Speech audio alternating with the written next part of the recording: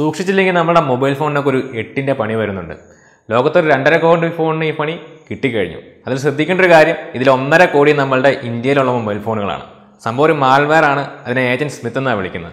ഇപ്പം മെട്രിക്സ് എന്ന് പറഞ്ഞാൽ ഇംഗ്ലീഷ് സിനിമ കണ്ടിട്ടുള്ളവർക്കറിയാം അതിനകത്തൊരു വില്ലൻ കഥാപാത്രമാണ് ഏജന്റ് സ്മിത്ത് എന്ന് വിളിക്കുന്നത്. അതിനകത്ത് അയാൾ ചെയ്യുന്നൊരു കാര്യം മറ്റൊരാളെയും അയാളാക്കി മാറ്റാൻ പറ്റും. അതായത് ഏജന്റ് സ്മിത്ത് തന്നെ ആക്കി മാറ്റും. അപ്പോൾ ഈ മാൽവെയറും പ്രവർത്തിക്കുന്ന ഏകദേശം ഇതുപോലെ തന്നെയാണ്. ഇപ്പോൾ ഈ മാൽവെയർ എങ്ങനെയാണ് നമ്മുടെ മൊബൈൽ ഫോണിൽ എത്തുന്നത്? ഇത് നമ്മളുടെ മൊബൈൽ ഫോണിൽ പ്രവർത്തിക്കുന്നത് എങ്ങനെയാണ്? മാത്രമല്ല ഇതിനെ തടയാൻ നമുക്ക് എന്തെങ്കിലും ചെയ്യാൻ പറ്റുമോ? എന്നുള്ള കാര്യം നമുക്കൊന്ന് നോക്കാം.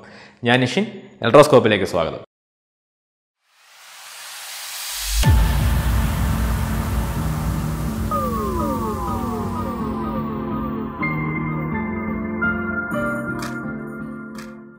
നമുക്കിട്ട് പണി തരുന്ന എല്ലാ ഉടായ്പ സോഫ്റ്റ്വെയറുകളെയും ചേർത്ത് വിളിക്കുന്ന പേരാണ് മാൽവെയർ നമ്മൾ വൈറസ് എന്ന് കേട്ടിട്ടുണ്ട്. വൈറസ് എന്ന് പറയുന്ന ഒരുതരം മാൽവെയർ തന്നെയാണ്. പേജൻ സ്മിത്തും ഇതുപോലെയുള്ളൊരു മാൽവെയറാണ് ഇതിപ്പോൾ നമ്മുടെ ഫോണിൽ എത്തിക്കഴിഞ്ഞിട്ടുണ്ടെങ്കിൽ നമ്മളുടെ ഫോണിലുള്ള വാട്സപ്പ് എക്സെൻഡർ ഇങ്ങനെയുള്ള ആപ്ലിക്കേഷനിലെല്ലാം മാറ്റം വരുത്തി അതുപോലെ ആയിരിക്കും ഇത് അതിനകത്ത് ഉണ്ടാവുക. ഇപ്പോൾ നമ്മൾ ഒടിയൻ സിനിമ കണ്ടിട്ടുണ്ട്. അതിനകത്ത് ഒടിയൻ മാനായിട്ടും പുലിയായിട്ടും ഒക്കെ വരും. പക്ഷേ അതെല്ലാം നമ്മളുടെ ലാലേട്ടനായിരിക്കും. അതുപോലെ തന്നെയാണ് ഏജന്റ് സ്മിത്തും പ്രവർത്തിക്കുന്നത്. ഇതൊരിക്കൽ നമ്മളുടെ ഫോണിൽ എത്തിക്കഴിഞ്ഞിട്ടുണ്ടെങ്കിൽ വാട്സപ്പായിട്ട് അല്ലെങ്കിൽ എക്സെൻഡർ ആയിട്ട് അല്ലെങ്കിൽ ഫ്ലിപ്കാർട്ടിന്റെ ആപ്ലിക്കേഷനായിട്ട് ഇങ്ങനെയൊക്കെ ആയിരിക്കും നമ്മളുടെ ഫോണിൽ ഉണ്ടാവുക. ഇപ്പം നമ്മളെപ്പോഴെങ്കിലും ഈ ആപ്പ് തുറന്നിട്ടുണ്ടെങ്കിൽ അതിനകത്ത് ചറ പറ പരസ്യങ്ങൾ ഇങ്ങനെ കാണിച്ചുകൊണ്ടിരിക്കും പോപ്പപ്പ് ആർട്സ് ആയിട്ട്.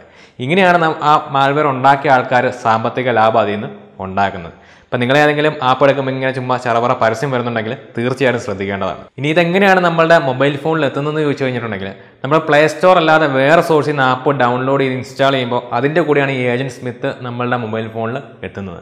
ഇപ്പോൾ ഉദാഹരണത്തിന് നയൻ ആപ്സ് ഒരുപാട് പേര് ഉപയോഗിക്കാറുണ്ട്. അപ്പോൾ അതിനകത്തുള്ള ഒരു സിമ്പിൾ ഗെയിം അല്ലെങ്കിൽ ഒരു സിമ്പിൾ മീഡിയ പ്ലെയർ അതുപോലെ അഡൽട്ട് കണ്ടന്റ് ഉള്ള ഒരു ആപ്പ് അങ്ങനെ നമ്മൾ കാണുമ്പോൾ ഡൗൺലോഡ് ചെയ്തേക്കാം. അല്ലെങ്കിൽ വലിയ പ്രശ്നമില്ലാന്ന് തോന്നുന്ന ആപ്പ് വഴിയായിരിക്കും ഇതുപോലുള്ള വയ്യാവലികളൊക്കെ കയറി വരുന്നത്. ഇപ്പോൾ ഇന്ത്യയിൽ ഒരുപാട് ഫോൺസിന് ഇത് ബാധിച്ചു എന്ന് പറഞ്ഞു. അതുപോലെ തന്നെ പാകിസ്ഥാൻ ബംഗ്ലാദേശ് സൗദി അറേബ്യ ഇവിടെയൊക്കെ ഒരുപാട് കേസുകൾ ഉണ്ടായിട്ടുണ്ട്. അത് പിന്നെ കേസുകൾ റിപ്പോർട്ട് ചെയ്യപ്പെട്ടത് യു കെയിലും അമേരിക്കയിലും ഒക്കെയാണ് പക്ഷേ അവിടെ എണ്ണം താരതമ്യേന കുറവാണ്. അവിടെ ഒരുപാട് പേര് ഐഫോണൊക്കെയാണ് ഉപയോഗിക്കുന്നത്. ഇത് ഐഫോണിനെ ബാധിക്കില്ല. ആൻഡ്രോയിഡ് ഫോണുകൾക്കായിട്ട് മാത്രമുള്ള പണിയാണ്. പിന്നെ നിലവിൽ ഈ പരസ്യം മാത്രമേ കാണിക്കുന്നുള്ളൂ ഉണ്ടെങ്കിലും ഭാവിയിൽ ഇത് വേണമെങ്കിൽ നമ്മളെ പേഴ്സണൽ ഡേറ്റ എടുക്കാം ഇത് വെച്ചിട്ട് അല്ലെങ്കിൽ ബാങ്ക് ഡീറ്റെയിൽസ് എടുക്കാം അല്ലെങ്കിൽ സ്പൈങ്ങിനൊക്കെ വേണ്ടിയിട്ട് ഇത് ഉപയോഗിക്കാൻ പറ്റും. അതുകൊണ്ട് ഇത് അത്ര നിസ്സാരമായിട്ടുള്ളൊരു കാര്യമല്ല കുറച്ച് ഗൗരവമായിട്ടുള്ളൊരു സംഗതി തന്നെയാണ്. ഇനി ഇത് നമ്മളുടെ ഫോണിനെ ബാധിക്കാതിരിക്കാൻ എന്തൊക്കെ ചെയ്യാമെന്ന് ചോദിച്ചു കഴിഞ്ഞിട്ടുണ്ടെങ്കിൽ ആദ്യമായിട്ട് ചെയ്യാൻ പറ്റുന്നത് ഗൂഗിൾ പ്ലേ സ്റ്റോറിൽ നിന്നല്ലാതെ വേറെ അൺട്രസ്റ്റഡ് സോഴ്സിൽ നിന്ന് നയൻ ആപ്സ് പോലുള്ള സോഴ്സുകളിൽ നിന്ന് ആപ്സ് ഡൗൺലോഡ് ചെയ്ത് ഇൻസ്റ്റാൾ ചെയ്യാതിരിക്കുക എന്നുള്ളതാണ്. ഇപ്പോൾ ചിലർ വാട്സപ്പിലൊക്കെ ലിങ്ക് അയച്ചു തരും. അയ്യായിരം രൂപയ്ക്ക് ഐഫോൺ അല്ലെങ്കിൽ ഫ്രീ റീചാർജ് ഫ്രീ ഡാറ്റ എന്നൊക്കെ പറഞ്ഞ്. നമ്മൾ ആ ലിങ്കിൽ ക്ലിക്ക് ചെയ്തിട്ടുണ്ടെങ്കിൽ ചെല്ലുന്ന ഒരു ആപ്പിലേക്കായിരിക്കും. ആ ആപ്പ് ഒന്ന് ഡൗൺലോഡ് ചെയ്ത് ഇൻസ്റ്റാൾ ചെയ്യാതിരിക്കുക എന്നുള്ളതാണ് പ്രധാന കാര്യം. പിന്നെ അവിടെ ശ്രദ്ധിക്കേണ്ട ഒരു കാര്യം നമുക്ക് വേണമെങ്കിൽ സെറ്റിങ്സിനകത്ത് അൺട്രസ്റ്റഡ് സോഴ്സിൽ നിന്നുള്ള ആപ്പ് ഇൻസ്റ്റാൾ ചെയ്യുന്ന ഓഫാക്കി ഇടാം. അങ്ങനെ ചെയ്യുമ്പോൾ അത് കുറച്ചുകൂടി സേഫ് ആയിരിക്കും.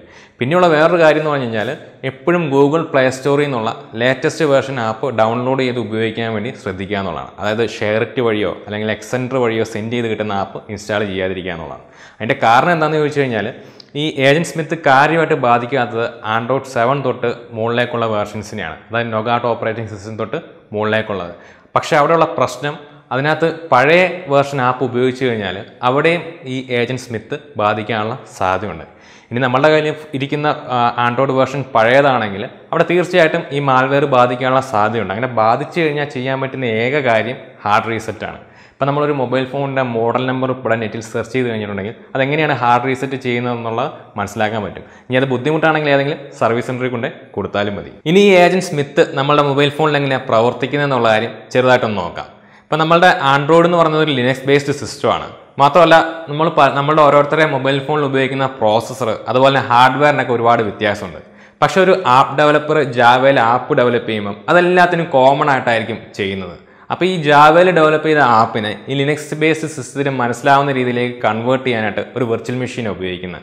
ഇപ്പോൾ സാധാരണ ജാവ പ്രോഗ്രാമിനെ റൺ ചെയ്യാനായിട്ടുള്ള ജാവ വെർച്വൽ മെഷീൻ ഉണ്ട്. പക്ഷേ അത് മൊബൈൽ ഫോണിൽ ഉപയോഗിക്കുമ്പോൾ ഒരുപാട് ലിമിറ്റേഷൻസ് ഉണ്ട്. അതായത് ബാറ്ററിയും അതുപോലെ മെമ്മറി സ്പേസ് ഒക്കെ അതിനുള്ള ഒരു ലിമിറ്റേഷൻസ് ആണ്. അപ്പോൾ ഇതിനെയൊക്കെ മറികടക്കാൻ വേണ്ടിയിട്ട് ആൻഡ്രോയിഡ് ഫോണിന് മാത്രമായിട്ട് വേണ്ടി ഡിസൈൻ ചെയ്ത വെർച്വൽ മെഷീൻസ് ഉണ്ട്. അപ്പോൾ ആദ്യകാലങ്ങളിൽ ആൻഡ്രോയിഡ് ഫോണിൽ ഉപയോഗിച്ചുകൊണ്ടിരുന്നത് ഡാൽവിക് എന്ന് പറഞ്ഞിട്ടുള്ളൊരു വെർച്വൽ മെഷീനാണ് നമുക്കറിയാം നേരത്തെ ആൻഡ്രോയിഡ് ഫോണുകൾക്കൊക്കെ ഹാങ് ആവുന്ന പ്രശ്നം ഭയങ്കരമായിട്ടുണ്ടായിരുന്നു. അതിനൊരു റീസൺ എന്ന് പറഞ്ഞിട്ടുണ്ടെങ്കിൽ ഈ ഡാൽവിക്ക് ആപ്പ് റൺ ചെയ്യുമ്പോഴാണ് അതിന്റെ കൺവേർഷൻ നടത്തുന്നത് ആ സമയത്തായിരിക്കും അതിന്റെ കമ്പൈലേഷൻ നടക്കുന്നത്. അതുകൊണ്ട് തന്നെ ഈ ഹാങ് ഉണ്ടാകാനുള്ള പ്രശ്നം കൂടുതലാണ്. പക്ഷേ ഇപ്പോൾ വരുന്ന മൊബൈൽ ഫോണുകളിൽ എ ആർ ടി ആണ് ഉപയോഗിച്ചിരിക്കുന്നത്. ആൻഡ്രോയിഡ് റൺ ടൈം എൻവയോൺമെന്റ് അവിടെ ഒരു ആപ്പ് ഇൻസ്റ്റാൾ ചെയ്യുന്ന സമയത്ത് തന്നെ അതിന്റെ ഫുള്ള് കൺവേർഷൻ ചെയ്തു വെക്കും. അപ്പോൾ അത് സ്റ്റോർ ചെയ്യാനായിട്ട് കുറച്ച് സ്പേസ് വേണം. പക്ഷേ കൂടുതൽ ഫാസ്റ്റായിട്ട് റൺ ചെയ്യും. ഇതിനെ എ ഒ ടി എന്ന് വിളിക്കും. എഹെഡ് ഓഫ് ടൈം പിന്നെ ഇപ്പോൾ ഉള്ള എ ആർ ടിയിൽ ഈ എ ഒ ടി ഉപയോഗിക്കാറുണ്ട്. അതുപോലെ തന്നെ നേരത്തെ പറഞ്ഞ ജസ്റ്റ് ഇൻ ടൈം കമ്പൈലേഷനും ഉപയോഗിക്കാറുണ്ട്. ഡാൽവിക്ക് നേരത്തെ കിറ്റ്കാറ്റ് എന്ന് പറഞ്ഞ ആൻഡ്രോയിഡ് വേർഷൻ വരെ ഉണ്ടായിരുന്നുള്ളൂ. അതിന് ശേഷമുള്ളതിലാണ് ഈ എ ആർ ടി വന്നിട്ടുള്ളത്. ഈ എ ആർ ടി അതായത് ആൻഡ്രോയിഡ് റൺ ടൈം എൻവയോൺമെന്റ് രണ്ട് ടൈപ്പ് ഫയൽ എക്സിക്യൂട്ട് ചെയ്യും. ഒന്ന് എ പി കെ ഫയൽ നമുക്കറിയാം ആപ്ലിക്കേഷനൊക്കെ വരുന്നത് എ പി കെ ഫയലായിട്ടാണ് രണ്ടാമത്തെ dex file D E X അതായത് ഡാൽവിക് എക്സിക്യൂട്ടബിൾ ഫയൽ ഇനിയിപ്പോൾ ഏതൊരു ഡാറ്റ സ്ട്രക്ചർ ആണെങ്കിലും പ്രോട്ടോകോൾ ആണെങ്കിലും അതിനകത്ത് അൺഇംപ്ലിമെന്റഡ് ആയിട്ടുള്ള അല്ലെങ്കിൽ റിസർവ്ഡ് ആയിട്ടുള്ള സ്പേസ് ഉണ്ടാവും. അതുപോലത്തെ സ്പേസ് നമ്മുടെ എ പി കെയിലും ഉണ്ട് ഈ ഡെക്സ് ഫയലിലും ഉണ്ട്.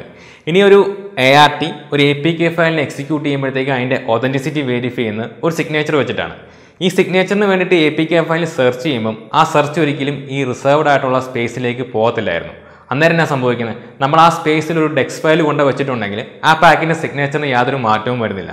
അപ്പോൾ എ ആർ ടി അതിനെ എക്സിക്യൂട്ട് ചെയ്യുകയും ചെയ്യും. ശരിക്കും ഇത് ആൻഡ്രോയിഡിന്റെ ഒരു ദൗർബല്യമായിരുന്നു. ഇതിനെ ജാനസ് വൾണറബിലിറ്റി എന്നാണ് വിളിക്കുന്നത്.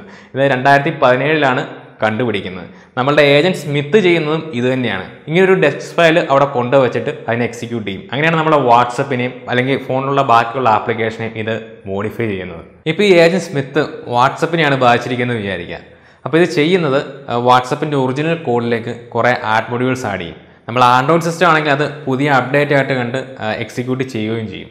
അപ്പോൾ സംഭവിക്കുന്നത് നമ്മുടെ ഒറിജിനൽ വാട്സപ്പിനെ റീപ്ലേസ് ചെയ്തിട്ട് അവിടെ ഒരു ഇൻഫെക്റ്റഡ് വേർഷൻ വന്നിരിക്കും. പിന്നെ നേരത്തെ പറഞ്ഞ ജാനസ് വർണബിലിറ്റി ആൻഡ്രോയിഡിന്റെ അത് പുതിയ വേർഷനിലൊന്നുമില്ല. കാര്യം രണ്ടായിരത്തി പതിനേഴിൽ ഇത് കണ്ടുപിടിച്ചപ്പോൾ തന്നെ ഗൂഗിൾ ഇതിന് വേണ്ടിയിട്ടുള്ള പാച്ച് വർക്കും കാര്യങ്ങളൊക്കെ ചെയ്തിട്ടുണ്ടായിരുന്നു. അതിന്റെ സിഗ്നേച്ചർ ചെക്ക് ചെയ്യുന്ന മെത്തേഡിലൊക്കെ ഒരുപാട് മാറ്റം വന്നിട്ടുണ്ട്. പക്ഷേ നമ്മൾ പഴയ വെർഷൻ ആപ്പാണ് ഉപയോഗിക്കുന്നതെങ്കിൽ ഇതേ പ്രശ്നങ്ങൾ ഉണ്ടാകാനുള്ള സാധ്യത കൂടുതലാണ്. അതുകൊണ്ടാണ് നമ്മൾ പ്ലേ സ്റ്റോറിൽ നിന്ന് എപ്പോഴും പുതിയ വെർഷൻ ആപ്പ് ഡൗൺലോഡ് ചെയ്ത് ഉപയോഗിക്കണം എന്ന് പറയുന്നത്. പിന്നെ ഈ ആൻഡ്രോയിഡിനുള്ള ആൻഡ്രോയിഡിന് ഈ പ്രോബ്ലം അല്ലാതെ വേറെ ഒരുപാട് പ്രശ്നങ്ങളുണ്ട്. അതൊക്കെ ഏജന്റ് സ്മിത്ത് ഉപയോഗപ്പെടുത്താറുമുണ്ട്. ഇനി ഏജന്റ് സ്മിത്ത് അല്ലെങ്കിൽ പുതിയ വരുന്ന മാൾവെയർ ഒക്കെ ഉപയോഗപ്പെടുത്താൻ സാധ്യതയുള്ള പ്രശ്നങ്ങളാണ് അത് അതുകൊണ്ട് നമുക്ക് ചെയ്യാൻ പറ്റുന്ന എപ്പോഴും ട്രസ്റ്റഡ് ആയിട്ടുള്ള ആപ്പിനെ ഡിപ്പെൻഡ് ചെയ്യുക എന്നുള്ളതാണ്. അപ്പോൾ നിങ്ങൾക്ക് വീഡിയോ ഇഷ്ടപ്പെട്ടെങ്കിൽ ചാനൽ സബ്സ്ക്രൈബ് ചെയ്യാൻ മറക്കാതിരിക്കുക. കൂടാതെ നോട്ടിഫിക്കേഷനായിട്ട് ബെല്ലൈക്കണിൽ ക്ലിക്ക് ചെയ്യുക. പുതിയൊരു വീഡിയോ വീണ്ടും കാണാം.